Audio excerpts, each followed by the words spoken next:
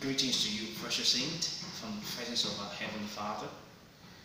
I want to share with you to this afternoon on how to release the power of the Holy Spirit from inside you to circumstances, to events, to situations, and even to people around you.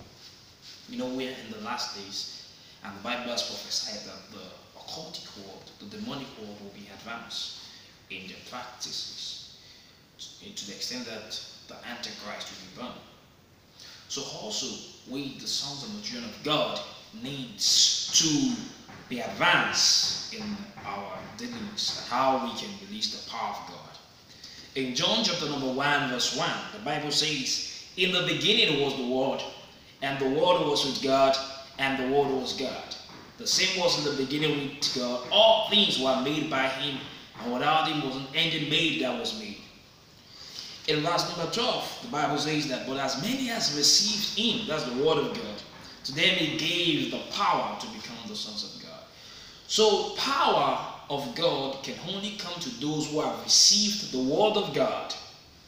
If you want to receive the power of God, you can only receive the power of God by receiving the Word of God.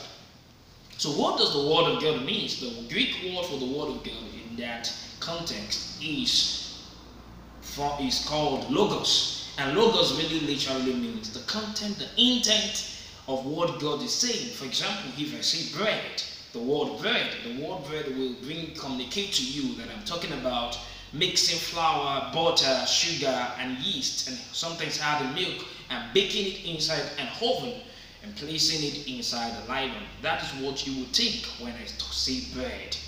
So also the word that God speaks to you, you've got to get the content, the intent of what God is saying before power can be released inside you.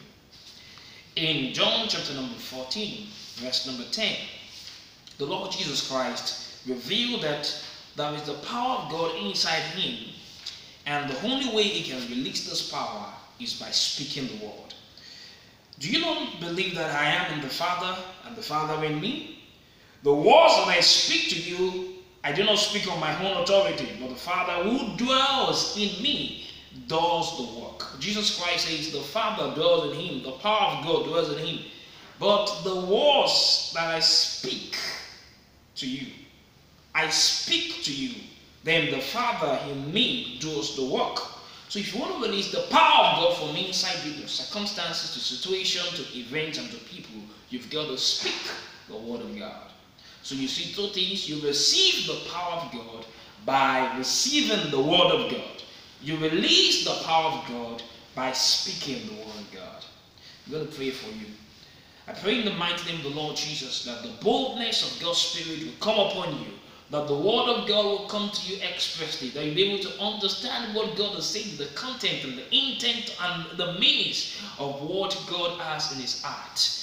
And as you receive it, you begin to grow in power, and you release this power through the words of God in your mouth with all boldness in the name of Jesus Christ.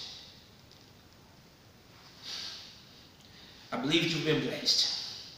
And I want to invite you to listen to and to watch these videos. I'll be releasing videos often, frequently. And I pray that you're going to be blessed as you listen to this video. Share this video and also you can click like or subscribe on to this YouTube channel.